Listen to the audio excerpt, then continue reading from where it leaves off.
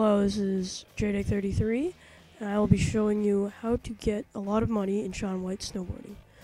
So, first, what you want to do is go to Ride Solo, then pick the map Japan.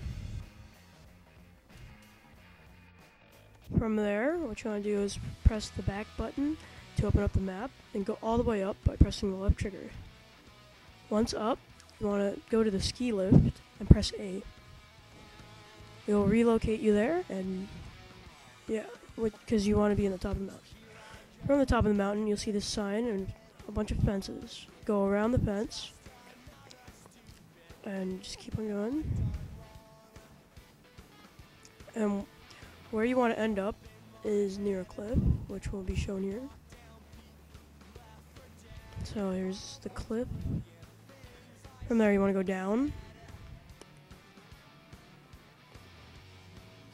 And you'll see a, a snowed out lodge kind of thing.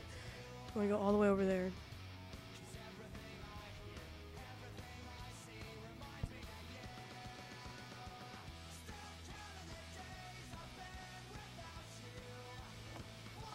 Yeah, let's make this quickly.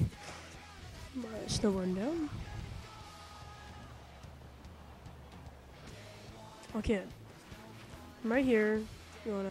Okay. so what you wanna do from here is go up the stairs, and then touch the corner of the fourth table, and keep on pressing the right trigger. What you wanna do is end up over the ledge, which may take a while. So don't expect to get all the money real quick.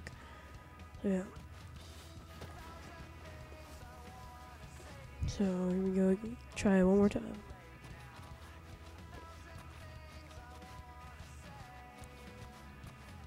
So go to the corner of the table. Keep on hitting the right trigger. And you'll end up on the other side.